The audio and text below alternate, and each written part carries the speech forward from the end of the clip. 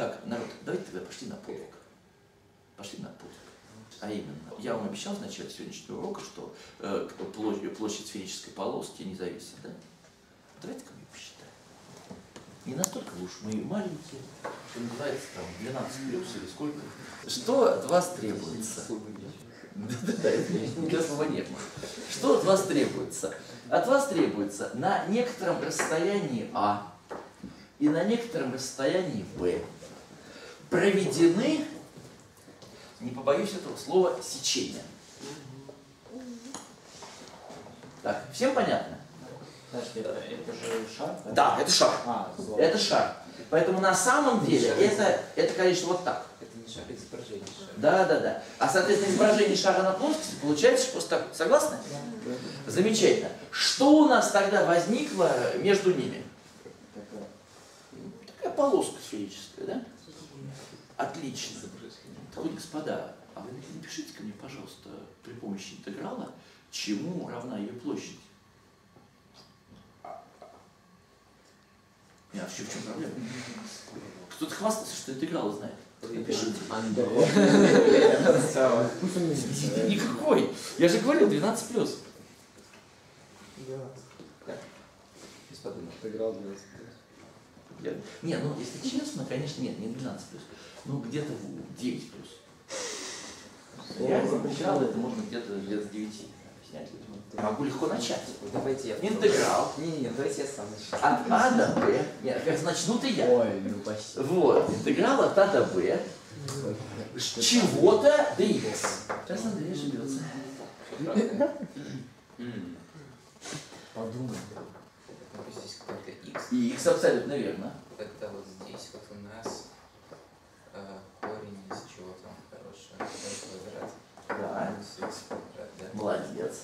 Так, значит, длина вот этой окружности у нас 2π на вот эту штуку. Да. Так, Пишите. а нам нужно что? Умножьте ее на dx, наверное. Вот это я было 2π корень из r квадрат минус x квадрат. Разве не так? Ну, давайте подумаем. А, Что вы реально написали? Вы написали длину окружности, да? Да. А, умножив ее на этот самый dx, да? на маленький-маленький отрезок. Это означает, что вы искренне считаете, что сфера вот такая, а не такая. Вы не учитываете наклон. Тоже не учитываете. Потому что вы приблизили ее э, таким цилиндриком. Да, что, что это? А Это срез конуса. нет, не конус именно, цилиндр. То есть вы взяли длину окружности и умножили на этот отрезок. То есть вы искренне считаете, что вот в этом месте у вас наклон, наклон вот такой. Это неправда. В этом месте вы будете почти правы. В этом месте вы будете чудовищно неправы. Поэтому это ответ неправильный. Надо было еще учесть наклон. Подождите, а и были параллельные или параллельные? Параллельно. Я не помню, что знак. Э, наклон поверхности. У вас поверхность, э, это же А, усеченный, типа усеченного конуса, а кривоватый. По Минковскому считать. Нет, Да. нет. Ну как не? А так что надо просто знать теорему Пифагора, ребята. Этот наклончик надо просто учесть. Надо по-честному учесть этот наклон. Теорему Пифагора писать. Смотрите, у вас есть вот этот отрезок r квадрат минус x квадрат. Замечательно. У вас x увеличивается на dx, поэтому здесь изменяется. И дальше надо написать площадь боковой поверхности, соответствующего усеченного конуса.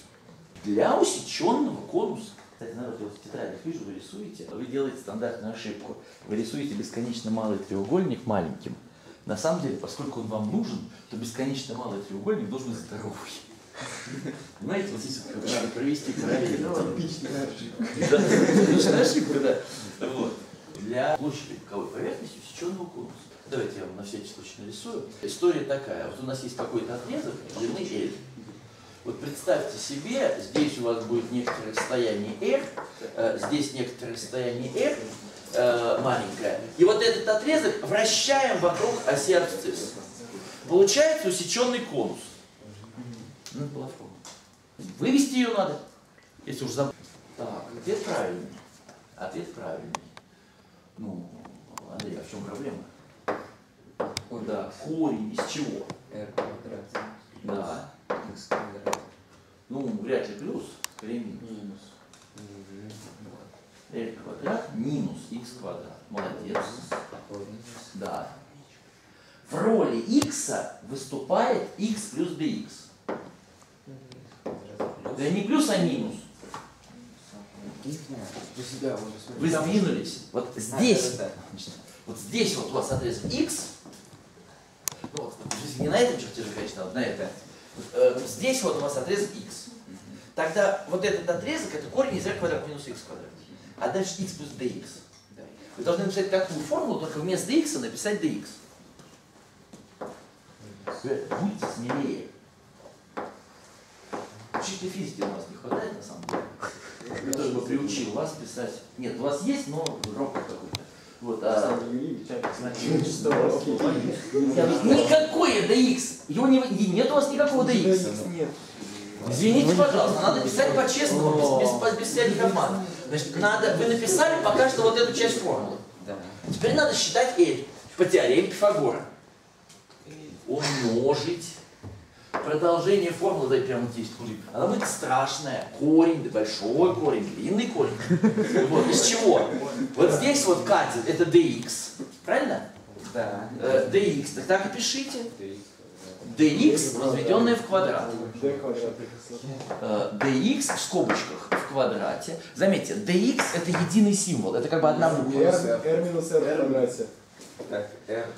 r большой минус r маленький в квадрате. Что в квадрате? Разность вот этих корней, возведенная в квадрат. Стоп. А, Это я не понял, это вы должны переписать за ним. Да, молодец. Отлично. Ну, Отлично. Да, да, да. И еще корень. Да, да. Молодец. А еще надо x. Нет, нет, оно там где-то внутри зашито. DX. Кстати, даже не один раз. Даже не один раз, народ. Видите, DX, DX. И когда потом интеграл брать? Ребят, это ваша проблема. Наша проблема. А вот с этого начнется наш следующий урок. Более того, помощи от меня не дождетесь. По той простой причине, что ничего сложного здесь нет. Ничего, кроме формулы там, разности квадратов, квадрата суммы. Ребята, если вы это не преодолеете, вы никогда интеграла не поймете. Наоборот, если вы вот посмотрите и сообразите и получите правильный ответ, то это будет очень большой шаг для того, чтобы понять, что такое интеграл.